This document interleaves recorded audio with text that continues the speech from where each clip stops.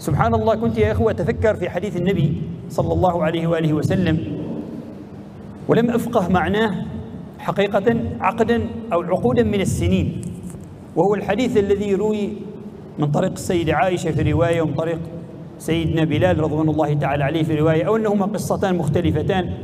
عندما دخل على النبي صلى الله عليه وآله وسلم في التهجد قال فبكى حتى بل لحيته. قال فبكى حتى بل ثوبه. قال فبكى حتى بل الأرض. ثم أطلق السؤال على سيد العابدين ورمز كمال البشر صلى الله عليه وآله وسلم. أتبكي يا رسول الله وقد غفر الله لك ما تقدم من ذنبك وما تأخر.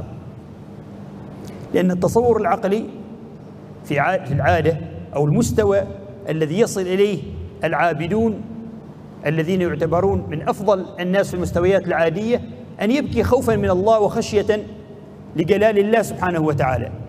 فإذا كنت يا رسول الله قد غفر لك ما تقدم من ذنبك وما تأخر. فلماذا تبكي؟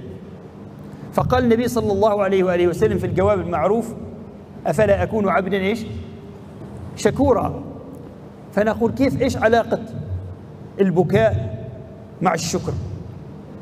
ثم ألهمني الله سبحانه وتعالى معنى سبحان الله وبعد أيام وجدته للإمام الغزالي وهو أن الإنسان عندما يفيض في قلبه معنى الاعتراف لله سبحانه وتعالى بالفضل على النعم يصبح هذا الإنسان على حالة من الحياء والخجل من الله. أنك يا رب أنت أعطيتني ورزقتني ووهبتني وتفضلت علي بالكثير الكثير من النعم. ومهما قمت أنا بما قمت به من جهد ومن عبادة ومن طاعة ومن عمل لخدمة الدين فسيتضاءل كل ذلك العمل أمام فضلك. فأنا سأكون يعني في غاية الضعف والتضاؤل مهما بلغت من درجات الشكر.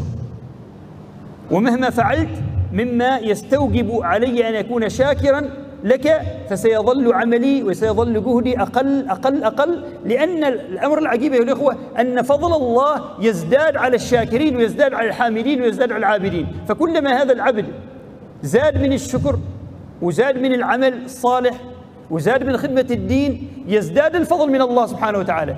فيبقى هذا الإنسان دائما في حالة من التضاؤل والتمسكن والضعف والتذلل بين يدي الله سبحانه وتعالى ولن يزال الله سبحانه وتعالى هو صاحب النعم وصاحب الفضائل أفلا أكون عبدا شكورا كما قال النبي صلى الله عليه وسلم صلى الله أن يرزقني وإياكم هذه المعاني